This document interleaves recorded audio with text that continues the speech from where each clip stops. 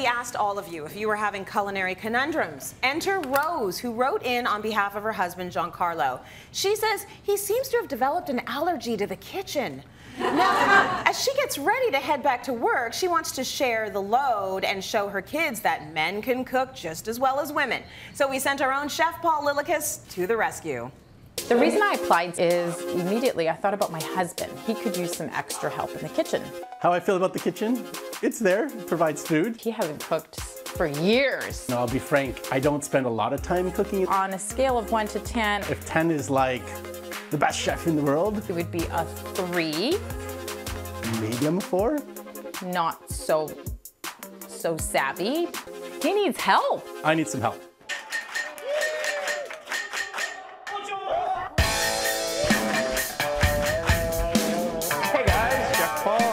Paul. All right. Ready to do some cooking? Absolutely.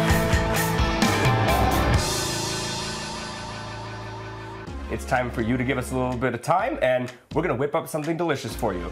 Awesome. So we can't just like order it or something? No. okay. Uh, I think the biggest challenge for Giancarlo is probably gonna be just cooking with me like lurking over his shoulder.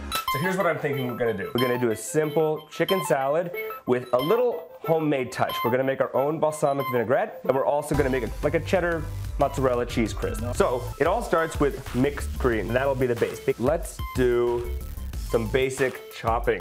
Yeah. I get the feeling mine's not gonna look quite like Or we could do chunks. How about chunks? chunks would be easier. It seems to me like he really wants to learn. He's really into it. The chicken's already cooked for us. It's still warm from the uh, from the grocery store. All you have to do is just basically pull it apart. I like to work with my hands, and this will be the protein for our salad. Now all we have to do is make the dressing and make the cheese crisp. So over to the stove. All right. Now we're just gonna cook it, flip it, and that's all there is to it. Woo! Done. Add Some olive oil. Okay, so now it's time to plate.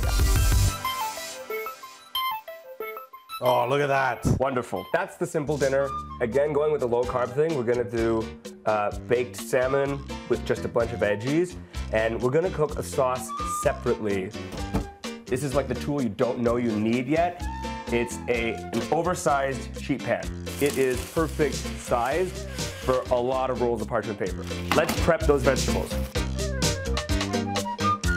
I'm feeling like there's a smarter way to cut the peppers. For sure. We just cut it in half. Yep.